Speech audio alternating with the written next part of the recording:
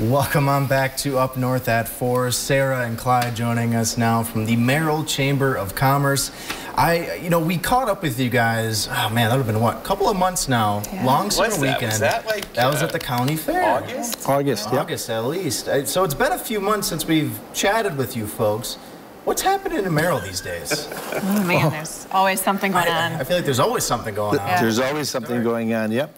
At the Merrill Chamber, we just, uh, about a week and a half ago, finished up our uh, annual celebration. We had a record number of people in attendance. We had over 250 people in attendance from the, from the, uh, our chamber members. And we gave out our annual awards. We usually give out five awards. Uh, This year, we gave out six. Uh, Our lar- bus- large business of the year, those businesses of the year are all based upon uh, employee sizes. So the large business of the year this year was FreMarq Innovations. Uh, they do curtain wall uh, windows, and they've done some things to reduce or increase the R value to make the uh, uh, buildings more energy efficient. Our um, mid-sized business of the year was Bremen Ford. Bremen Merrill Ford, and they do a yeah. fantastic job over there. Uh, Joe and Dave and the entire staff. The uh, small town business of the year was uh, Polka Dotted Pie. Nope, Culver's. Oh, Culver's, I'm sorry. oh, Culver's. we're getting to was Culver's and pies. polka dot pie is the next one. Yeah. I was there last night. Joe, Joe, Joe, and, Joe and Lori Wakefield do a fantastic Yes, job. they do. And then the hometown business of the year was polka dotted Yes, pie. and we they- frequent there as well. We, we bit, do yeah. frequent there as well, as, as you can tell. Okay. As you can tell, right? They had Yeah. they had cream puffs at the fair this year, if you recall. Yeah. Okay. So- I, I don't think I don't think, we I don't think I got the cream puffs. yeah. He was going hiding in the cheese curds. I was saying, I was, I was too preoccupied. That, hands up on that one. You know, we've uh, you know we've often had we've often had this talk about what the Chamber of Commerce does, and it's it's amazing to some people that it's not just about drawing in tourists, right? You work Right. closely with local businesses Exactly, and to kind of expand their footprint, right? Yep, yep. And where do you start that? Like, you just kind of help them develop how to get their their business out there, or where's that start?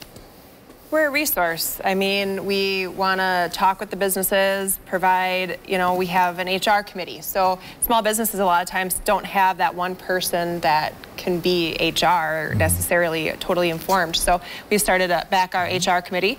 So that's one resource, you know, helping them get through the, the times that we are in and they can collaborate with other businesses in the area. So Yeah. And it's one of the many things. I was going to say, I know so many towns, so many areas have been hit especially hard the last couple of years just with the pandemic, everything going on. So I, I, I know things aren't completely back to normal yet, but I guess how are things going just citywide for you folks in Maryland? Are you seeing that growth sort of starting to come back a little bit? Oh, I believe so. You know, you see, uh, we've getting more and more tourists coming into the community.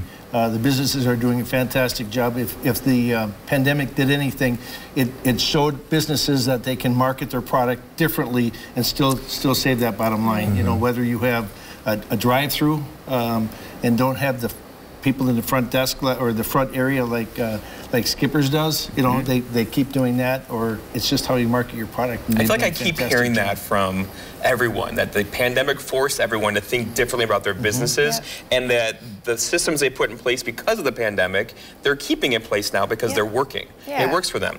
And I'm looking forward though because I'm trying to get us the snowiest winter on record up this way. And I know said this Merrill's so got some many pretty cool snow trails, Yep. which also helps the economy, right? Right, yeah. So, uh, you know, hopefully we'll get those trails open here pretty soon. yes, I hope I, so. We- I don't know if I need the snowiest on record, but I, Let's go big. Sarah and I are in agreement Yeah. here, so Yeah. I think Well, we'll take some snow. good, you know, snow for Christmas. Yes. I, And then you're fine. done? Yeah. That's Too I'm in early. the same boat. Yeah. Well, you two, it's always a pleasure talking to you both. We really appreciate you guys coming on and just kind of chatting with us for a little bit. Of course, we hope we got to do this again in the near Oh, future. absolutely. Of course, not a problem. In the meantime, though, we're going to take a break here in Up North at four. We'll be right back after this. Culver-